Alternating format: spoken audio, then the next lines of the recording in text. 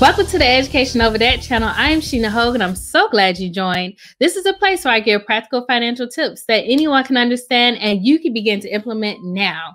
Season two was all about relationships and money. Each week, I've had a guest come onto the show and share with you their money story. My hope is that you leave the conversation with a new perspective, tip, or strategy that you can implement today. The Education Over Debt podcast is now streaming on Spotify, so be sure to check us out there and become a monthly subscriber for as little as 99 cents per month. We are also available on other podcast platforms, so if you don't have Spotify, you can also go there to check us out. And while you're checking us out, visit our website at educationoverdebt.com so that you can learn more about what we're doing in the community. We are now a 501c3 organization and we are gladly accepting donations. The purpose of the foundation is to provide scholarship money to students obtaining their bachelor's degree. Today, we have a special guest with us. Her name is Kayla, and she's a college student at the University of Illinois with a major in urban planning. She is actually our first scholarship recipient. Kayla and I met under unusual circumstances. She actually applied for another scholarship that I was over. After reading her story, it resonated with me a lot. And due to her persistence, I decided to give her a scholarship under Education Over Debt. She is what propelled me to make it into a 501c3 organization so that I could continue to do the work in the community. Please help me welcome to the show, Miss Kayla. Hi, Kyla. How are you doing today? I'm good. How are you? I'm doing well. Thank you so much for coming on to the Education Over Debt podcast. Let's just get right into it, Kayla. Tell me a little bit about how your experience has been your freshman year at college. Um, my experience has been very unique. It's different than I expected it to be. Like growing up all these years and saying like I can't wait to go to college. I knew it would be different, and I am on campus, which I'm really happy about. But it's just it's different than I expected. And what do you think some of your challenges has been mostly with? Um, talking or being able to communicate with people uh, virtually has been has taken extra effort, and also communicating with professors. Um, but I feel like I'm making the best of it. I'm trying to.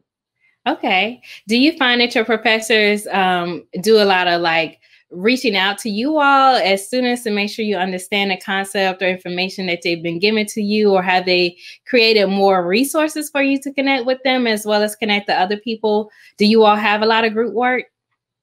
Um, I I think that they're trying their best to provide additional resources, but I think that everyone is just going through a learning curve right now. Um, they're reaching out, but I think that it's definitely more on the student to claim their education is a term that I've recently learned. So it's more so on us.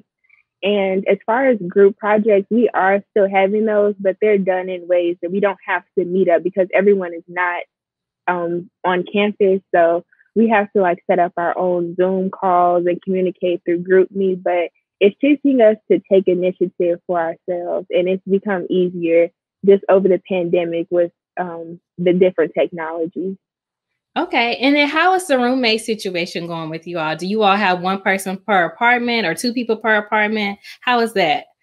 Um, I think some people do have two people, but I personally have one roommate. Um, we have something called contact tracing through the Safer Illinois app. It's something my campus has created. So we get test COVID tested every other day, and it just makes it easier to keep track of like who you're coming in contact with and make sure that you and your roommate are safe while living in the same space. And it makes me feel a lot safer. Really? And what type of testing are they doing for COVID? Um, we have saliva samples and just like a little tube, and that'll come back within a day. Okay. And are you all next in line for getting a vaccine, or have they talked to you all about getting a vaccine? Um, I think eventually that we will all have to get vac- vaccinated. Most um, essential workers have already gotten theirs, and next year I'm actually going to be an RA, so I will be considered an essential worker, and I will have to get my my vaccination. Okay, well that's good. Congratulations on becoming an RA next year. You already applied and they accepted you for RA next year. Yes, right now I'm just patiently waiting on to find out my position. Okay. All right. Well, congratulations. That's good to know. How has everything been as far as the cafeteria and eating on campus? Um, we are able to use dining dollars and also just the regular cafe credits. Uh, when the food is not great, we're relying on Uber Eats a lot, but um, we're able to socially distance inside of the cafeteria, and it's nice. Okay. Well, that's good. Have you joined any clubs or organizations inside your major as well as outside of your major? Yes, I've joined both. So, um, one that I'm really passionate about is health of the homeless, and we're providing health essentials and food to the housing insecure population of Urbana Champaign and Roof to Roof. We're right now we're currently working on a project um, that's sustainable for students who are trying to shift into a more educationally focused life. So we're creating a homework and learning center for them. Okay, and why does that stand out to you the most? Um, personally, I'm just really passionate about um, helping other people become more focused in education because I'm really passionate about education and I see the importance in it. So just helping someone who's trying to like make that change in their life is important to me. And also being an urban planning major, I focus on design and how people interact with their environment. So I just thought that this was a perfect mix for me. Okay, yeah, that sounds good. Are you all going to incorporate any type of mental health classes for them since they're having some challenges with staying focused on education, maybe helping them to learn how to express themselves? Mm-hmm. So I'm actually not sure what's going to be the programming that's going on, but we're just focusing on how the environment and the built environment is impacting them, and just trying to create like an environment that'll be positive. Okay. Okay. Well, that's good to know that you all are thinking about you know creating an environment and aesthetics and making sure that the environment is something positive um, that they can embrace. What's something that you think you've learned about yourself um, th- this freshman year? Um, learning to be persistent in um, communicating with people, whether that be through scholarships or reaching out to professors, because everyone is like handling COVID in a different way, and just like having learning to stay on top of it and take that um, that first step of communication because all the time people don't reach out to you you'll have to reach out to them. Mm-hmm. yes that's good. Um, i think that's very good to learn that skill set up and persistent. That's pretty how i ended up giving you the scholarship last year is because you were so persistent. So being persistent can help you in so many avenues in your life to come because things will not always be easily given to you, or sometimes it may be a little bit harder. Some people may not want to give things to you. So being persistent is pretty much how you can navigate and get the things that you want out of life. Um, with that being said, with you being persistent, how are your classmates handling? Are they being as persistent, or do you see that they have a little bit more challenge with schoolwork and scholarships and things like that? I think from talking to just classmates and friends, I think a lot of people are drained and kind of finding it hard to stay motivated, which I understand because I also am someone who just learns better being face to face with my professors and teachers. Um, I, I think that they're having a harder time, but when we can, we try to like find new ways to just keep ourselves motivated or when we can do something in person. So it's a challenge for everyone. I think we're all still learning. Mm-hmm. Yeah, I think it can be challenging just learning everything online and not really having that interaction because I find even I took a new job recently and I find that even just learning things, you know, virtually when you're in the office, you can see what people are doing, what screens they're looking at, little things that they don't tell you that they're doing or different ways that people may learn, but it definitely mm-hmm. helps you to do your job better or to learn a subject better by sometimes seeing things that people don't think about that's important, but you see that that's yeah. actually something that's helping them to learn something better or, you know, grasp a concept. So you mentioned Absolutely. that you, yeah, you mentioned that you've applied to scholarships. How many scholarships have you applied for so far? Um, since high school, like probably no, like oh, this year, freshman year. Oh, okay. Um, probably I would say about twenty five or thirty. Um, I have been awarded a few, which is good, and that just keeps me motivated to keep applying. Okay. Okay. So that's good. How many have you gotten? So, or how much in money have you got? How much money have you got so far? Um, I'm not sure on exact numbers, but I have been able to cover the cost of this whole year and next year. Okay, that's good. And then by you being an RA, that should take care of your housing. So that's yes. good. Okay, that's good. Do you encourage other people to apply their scholarships to maybe get those strategies to apply, or no, not really? Yes no, I, I think everyone should apply to scholarships because scholarships are really just free money. And if you're passionate about something, you just have to find a way to put it into words and communicate it to these committees because, like, this is just having someone else invest in your future. And I think it just makes it easier to focus on school when you're not worried about the financial aspects, and it just makes life easier to apply and win scholarships. And I promise if you apply, you'll get something or at least get new opportunities, if not selected. What do what do you tell students that have a challenge with writing the essays for the scholarships? Um, I would say utilize your resources. Um, I know last year, especially, I really um, relied on my teachers to like maybe if I wanted them to read over an essay or even using essays that you use like in mm-hmm. class for something or there's a lot of websites that will teach you formats and just like just like staying on top of it and just using every resource that you can to perfect your application. Right. Yeah, and I think it was good that you say even using essays that you may have used before in classes. Sometimes you could just tweak one or two things and make it fit whatever that prompt is that one school may have. And I think sometimes maybe students forget about that or they think they mm-hmm. always have to start over from scratch, but you're not always, especially as far as your personal statement. You know, that's going to probably be the same for the most part. You are who you are, but some of the other essay prompts may have a little bit more things you have to start over, think about, or tweak. So mm-hmm. that's that's good. What are you looking forward to next year? For one, I'm really hoping that COVID limitations can be limited because I, I've said it that just being virtual is not the best thing.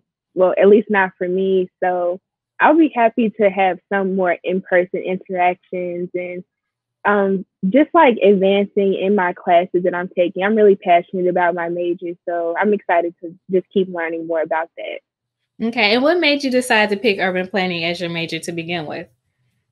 Well, I was originally interested in architecture, but I know myself when I'm not a math person so much and engineering type person. So, and I'm also very passionate about community service and working with people themselves. So I found urban planning was a good mix between the environment and also people. So once I learned about it, I just stuck with it and I love it.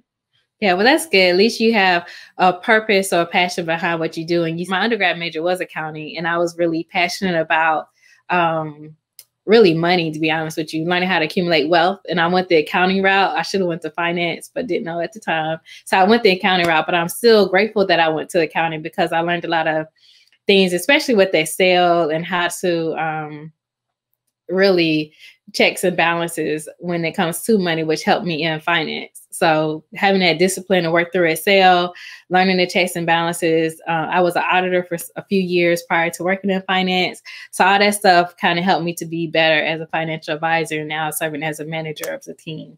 So everything works out you know and so it's good that you have a real purpose and passion behind what you want to do and you're staying focused on applying for scholarships being persistent reaching out to your teachers even reaching out probably to your classmates so that you guys can make the group projects and turn them in on time and make sure everything is you know met accordingly. So that's really good to hear that you're doing that and that you're staying focused. And even the fact that you said that you're getting a little burnt out because um, my niece she is also you know, doing a Zoom class and stuff. And I could see easily how you could get burnt out looking at a computer screen all day and not really having that social interaction. So mm. I mm-hmm. think it's it's key to try to find different ways to get outside of that. Glad you shared with us about what you all are doing for COVID and how you're staying safe um, in school and how they're doing the COVID testing and uh, um, the tracing and everything like that. So that's all very good to hear about. Uh, what's one thing that you would what was some advice that you would give to a young person coming into college their freshman year um, for next year? What's something you would share with them? I would say to just be open minded about the experience in general. Um, we talked about this earlier, but just making sure to apply to these scholarships. I think that that's very important. I hear a lot of people stressing about money. And um, just, yeah, I think my biggest tip would just be to be open to the experience and meeting new people. And yeah. Okay. One more thing you talk about stressing about money. Are you the first in your family to go to college, or do you have an older brother and sister?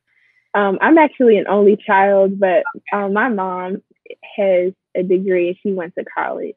But I would say our experiences have been very different. Um, just from one and the types of schools that we've gone to. I go to a Big Ten school. She went to a very small school, but yeah. Okay. Did she talk to you a lot about having money to go to college, or did she get your interest in going to college and applying um, for scholarships? I I think that I think my motivation really comes from seeing like her friends' children being successful. And I just wanted the same thing for myself. So I think that that motivated me. But my mom, she definitely was like there by my side to help me apply and would remind me of things. And yeah, she's just very helpful in the process. Okay, well, that's always good to hear that your mom is being helpful in the process. So, thank you so much, Kayla, for joining us on the Education Over Debt podcast. I will share this with everyone. And the hope is that um, hopefully some young students can see you, some of the things that you're saying, and it will inspire them to apply for scholarships as well to attend college and maybe have an open mind for their freshman year, considering that we're in um, unprecedented times, right? We're in times that we never seen before. Well, thank you again for joining me today. Um, and I look forward to talking with you soon. I will keep in touch, okay? Thank you. Thanks for having me. All right. Bye. Kayla's experience as a freshman year in college during COVID has been impressive. She shared with us that although her experience isn't what she thought, she's found ways to over communicate, to be consistent, and to claim her education. She shared with us that she really wants to encourage students to continue to apply for scholarships and utilize their resources to perfect their scholarship application. She believes that if you continuously apply for scholarships, you will likely not only win, but open yourself up for more opportunities. We thank our guest Kayla for joining us on the Education Over Debt podcast. Be sure to check out our website at educationoverdebt.com and follow us on social media at Education Over Debt. I am Sheena Hogue. Remember to live life, love life, and be well.